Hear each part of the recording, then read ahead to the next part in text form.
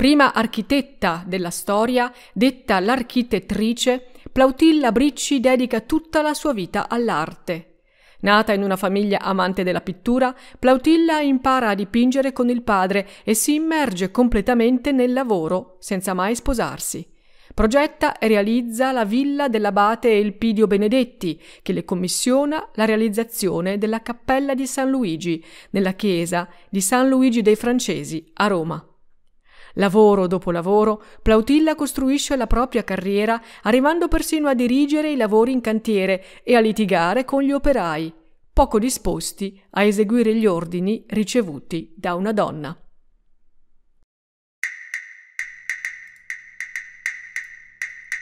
Io sono Carmen la Terza e questo è Donne Intrepide, un podcast di Libroza che racconta le storie di donne che hanno superato gli stereotipi del loro tempo, hanno vinto i pregiudizi di genere, hanno sfidato le aspettative della famiglia e della società.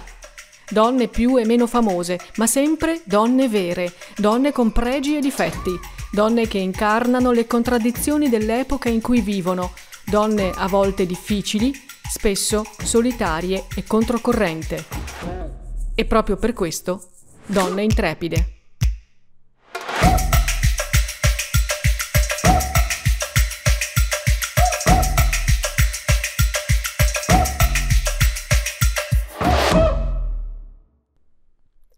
Plautilla Bricci nasce il 13 agosto 1616 a Roma. È la terza dei figli di Giovanni e Chiara Recupito. I genitori le danno il nome di una zia paterna dal temperamento e dalla vita fuori dall'ordinario. La zia infatti viveva con un artista senza essere sposata e una volta rimasta vedova combatte contro i figli di lui per preservare il proprio diritto all'eredità lasciatale dal compagno. La piccola Plautilla frequenta la zia, che diventa per lei un modello femminile di riferimento e dalla quale eredita lo spirito battagliero e la capacità di difendere le proprie scelte e le proprie conquiste. L'infanzia di Plautilla scorre serena ed è particolarmente influenzata dall'esempio e dalla presenza paterna. Giovanni Bricci è un personaggio istrionico, pittore e musicista dilettante, si occupa anche di poesia e teatro in veste di attore. L'ambiente familiare è dunque culturalmente vivace e ruota intorno alla passione dei genitori per l'arte. Tra l'altro, la famiglia Bricci vive accanto al noto pittore Giuseppe Cesari, detto il Cavalier d'Arpino, e Plautilla cresce nutrendosi di pittura e musica. Giovanni Bricci ha stretto una bella amicizia con il Cesari e ne frequenta con regolarità la casa, che funge da circolo culturale ed è animata da tanti artisti, attori e intellettuali capitolini. Così, dopo aver ricevuto una prima educazione artistica dal padre, Plautilla entra a far parte dell'atelier del Cavalier d'Arpino, in cui si confrontano diversi apprendisti e studenti. Giovanni Bricci infatti intuisce subito il talento della figlia per il disegno e la pittura e cerca di sponsorizzarne la carriera, sfruttando l'ampia rete di amicizie e conoscenze che ha intessuto. Plautilla asseconda i desideri paterni che coincidono con i propri. Purtroppo però deve fare i conti con tutte le difficoltà di una carriera che di norma è preclusa alle donne. Inizia così occupandosi di miniature, ricamo e pitture di piccole dimensioni, tutte occupazioni artistiche tipicamente femminili. Plautilla però impara presto come funzionano le cose e acquisisce dal padre la capacità di intessere importanti relazioni sociali. Il suo nome comincia a circolare a Roma a seguito di un episodio particolare. Nel 1640, quando ha 24 anni ed è intenta a dipingere il quadro di una Madonna con bambino, destinato alla chiesa dei Carmelitani di Montesanto, si trova in difficoltà nel realizzare il volto della Vergine. La figura di Gesù bambino non le ha dato problemi, ma le ombreggiature sul viso della Madonna non la convincono. Presa dallo sconforto, Plautilla decide di interrompere il lavoro per andare a riposare nella speranza di trovare maggiore ispirazione al risveglio. Alzatasi, torna davanti al cavalletto con l'intenzione di terminare il quadro, ma con sua grande sorpresa il volto della Madonna è già stato completato. Plautilla racconta il fatto ai frati carmelitani, che gridano al miracolo, e la notizia si diffonde in tutta la città. Qualcuno sospetta persino che la storia sia frutto di un'abile messa in scena orchestrata dal padre per spingere la carriera della figlia. Di certo, Plautilla approfitta della notorietà causata dall'evento, che le consente di conquistarsi un certo credito presso l'ordine dei Carmelitani. I frati infatti la introducono nel convento di San Giuseppe a Capo le Case di Roma, dove Plautilla conosce Suor Maria Eufrasia della Croce, al secolo Flavia Benedetti, una monaca carmelitana, pittrice dilettante, con cui nasce subito un rapporto di simpatia e stima reciproca. Sempre più concentrata sulla propria carriera, Plautilla non sogna il matrimonio e la maternità come farebbe qualsiasi giovane della sua età e non cerca neppure un marito per andare via dalla casa paterna. Continua a vivere con i suoi genitori, ma cerca di non pesare economicamente su di loro e prova con impegno a sostentarsi con il proprio lavoro di artista. Grazie alla piccola notorietà che ha raggiunto, Plautilla riesce a ottenere una commessa per l'umanista Antonio degli Effetti. Lavora così con altri artisti alla realizzazione di un grande mobile da collezione. Pian piano la sua cerchia di committenti si allarga sempre di più e lei viene in contatto con i personaggi più in vista e le famiglie più potenti di Roma. Plautilla impara anche a seguire la corrente e a ispirarsi alle tendenze artistiche più in voga, in modo da riuscire a strappare qualche commessa in più. Entra così in contatto con l'importante famiglia Barberini e comincia a lavorare per loro. Nel 1655 Plautilla viene ammessa nell'Accademia di San Luca, dove si perfeziona ulteriormente. Per lei è un passo importante perché ha ricevuto una preparazione quasi solo privata e frequentare l'accademia le consente di assumere una posizione più professionale agli occhi dei committenti. In quegli anni l'ambizioso abate Elpidio Benedetti, segretario del potente cardinale Giulio Mazzarino, viene incaricato di scegliere e acquistare oggetti preziosi e opere d'arte nella città papale da mandare alla corte di Parigi. I lavori di Plautilla colpiscono molto l'abate, con il quale c'è già un legame indiretto. La sua amica Suor Maria Eufrasia, infatti, è la sorella di Elpidio Benedetti. Nel 1660 l'abate le commissiona la sua prima pala d'altare. Per Plautilla è una vera svolta, perché si tratta della sua prima opera di grandi dimensioni. L'opera, dedicata alla Natività della Vergine, è richiesta dal monastero benedettino di Santa Maria della Concezione a Campomarzio, la cui madre badessa è Anna Maria Mazzarino, nipote del famoso cardinale. Elpidio Benedetti diventa così per Plautilla un vero e proprio mecenate, trovando per lei commissioni importanti e mettendola in contatto con altri grandi artisti dell'epoca, come Gian Lorenzo Bernini, Pietro da Cortona e Andrea Sacchi, che fanno parte della sua cerchia di protetti. La vera svolta lavorativa per Plautilla arriva però nel 1663, quando l'abate commissiona a lei e a suo fratello Basilio, già architetto, la progettazione e la costruzione di una villa che sorgerà subito fuori Porta San Pancrazio. Quando Plautilla mette mano al progetto di Villa Benedetta ha già 47 anni, è una pittrice affermata e già da tempo segue i progetti architettonici di Gian Lorenzo Bernini, di cui assimila lo stile. Si impegna così nel nuovo lavoro e disegna di suo pugno tutti i progetti della villa, cercando di andare incontro ai desideri del committente. L'abate infatti si diletta di architettura e interviene nella fase di ideazione della casa. Inoltre Plautilla ha un legame molto stretto con il fratello Basilio, con cui ama lavorare e con cui si confronta molto spesso sulle scelte architettoniche e artistiche da adottare, accettando i suoi suggerimenti e le sue critiche.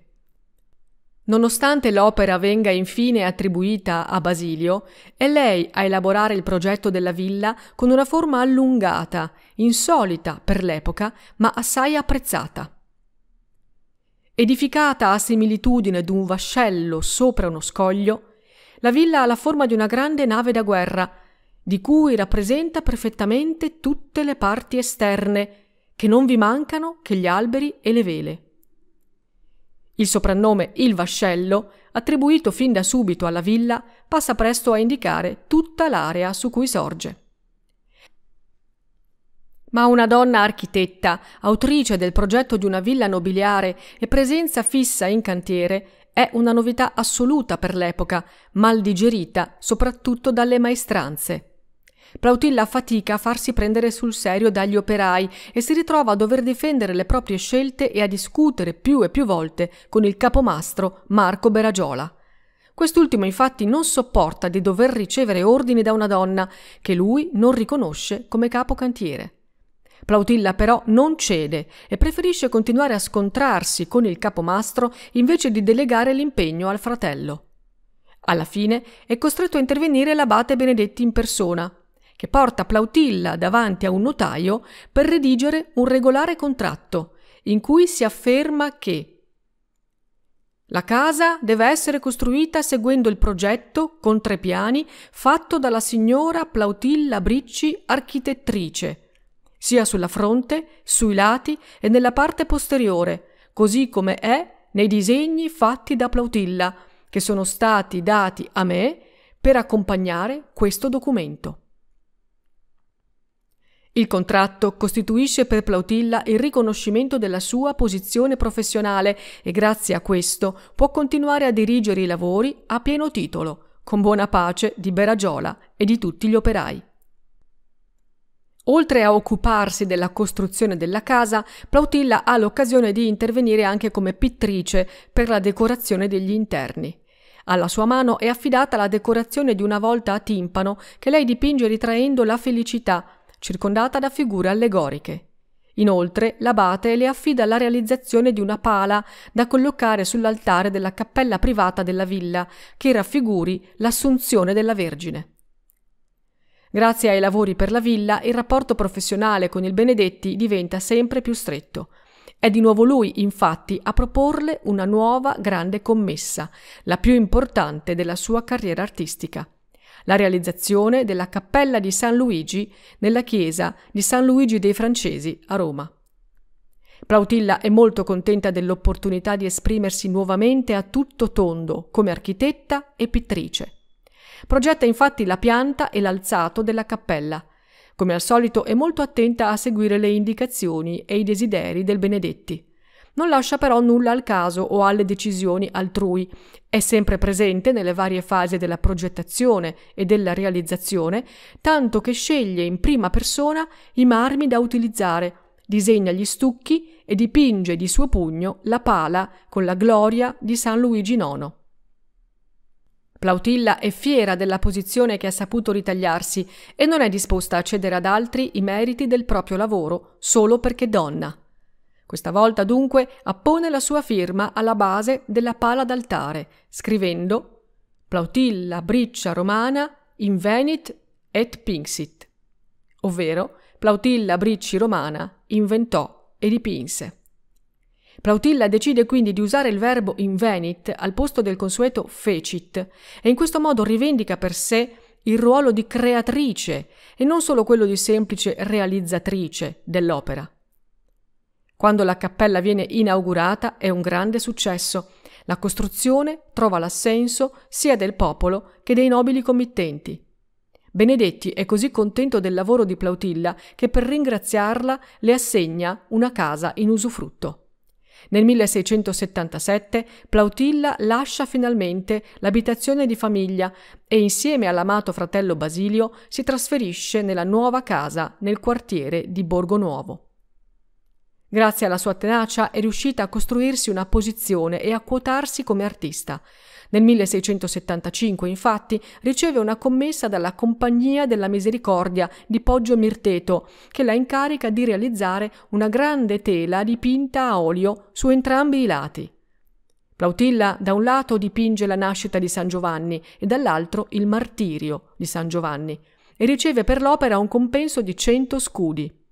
I suoi colleghi uomini ricevono compensi maggiori per un lavoro dello stesso genere, ma Plautilla ha strappato comunque un'ottima retribuzione, considerata all'epoca un pagamento di livello alto. Nella realizzazione del martirio di San Giovanni, Plautilla cerca di misurarsi anche con la raffigurazione dei corpi umani. Nella scena introduce la figura di Salomè, che riceve dal carnefice la testa del santo. Ma Plautilla non ha potuto studiare l'anatomia del corpo umano facendo pratica con modelli dal vero, come invece fanno tutti i giovani pittori. E, nonostante il suo impegno, la realizzazione del braccio in tensione del carnefice rivela la profondità di questa lacuna. Purtroppo nel 1692 Basilio muore e Plautilla si sente all'improvviso sola e senza appoggi. È molto anziana e non vuole rimanere a vivere da sola nell'abitazione dove ha vissuto insieme al fratello. Accanto alla casa sorge il convento di Santa Margherita e lei decide di ritirarsi a vivere con le suore. Non prende il velo, ma è ospite fissa del convento, dove muore il 13 dicembre 1705 all'età di 89 anni. Plautilla Bricci riposa nella Basilica di Santa Maria in Trastevere, accanto all'amato fratello Basilio. La sua attività di architetta nella Roma del XVII secolo la pone tra le precorritrici di un cammino di emancipazione che darà esiti concreti solo molti secoli dopo, perché Plautilla Bricci rimane l'unica donna della sua epoca, in Italia e in Europa a cui siano attribuiti progetti architettonici.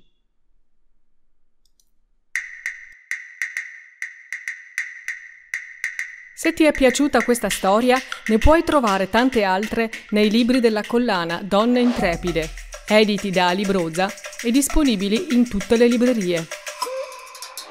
Donne Intrepide è un podcast scritto e condotto da me, Carmen La Terza, e prodotto da Libroza. Io ti ringrazio per l'ascolto e ti aspetto alla prossima storia. Alla prossima, donna intrepida.